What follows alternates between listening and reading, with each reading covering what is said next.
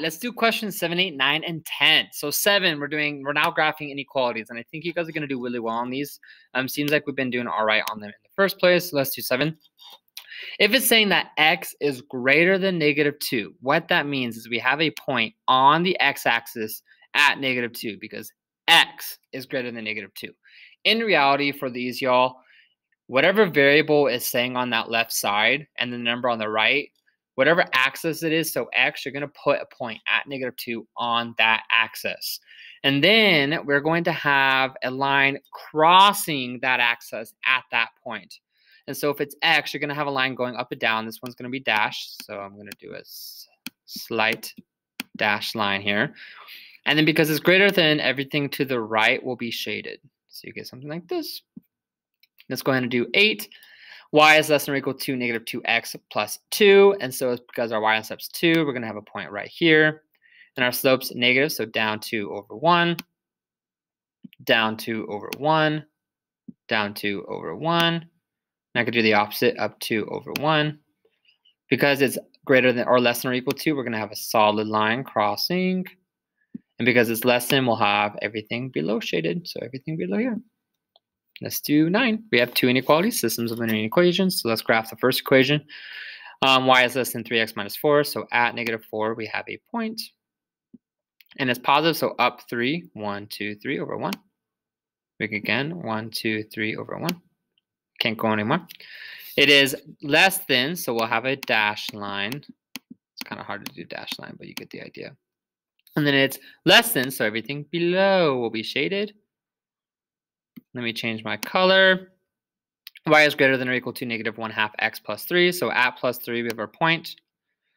And then it's a negative, so down 1 over 2, 1, 2. Down 1 over 2. And we're going to have everything shaded up, oh, a solid line, sorry solid line, and then everything above because it's greater than. So everything up here. So your common area is right here. All right, let's do 10. Um, this one's not already in y equals mx plus b form, so let's go ahead and get it into it. Um, subtract 3x on both sides, and then when you divide by that negative 2, you end up going to be switching. So let me get my sign.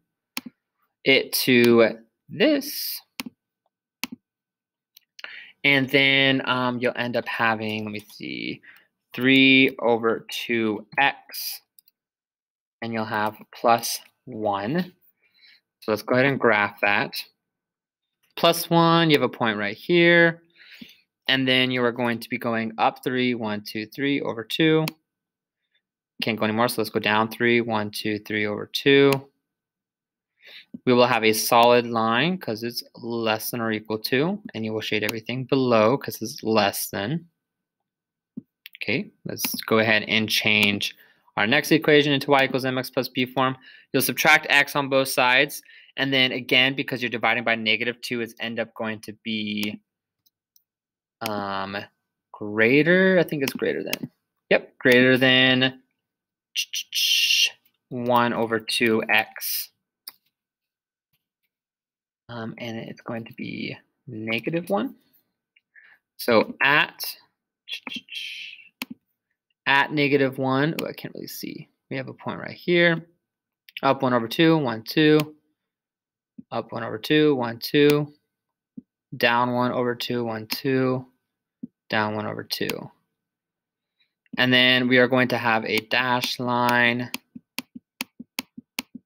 and everything above, so everything up here. So our common area is about right here. All right, if you have any question on this, let me know. Go ahead and move to the next video.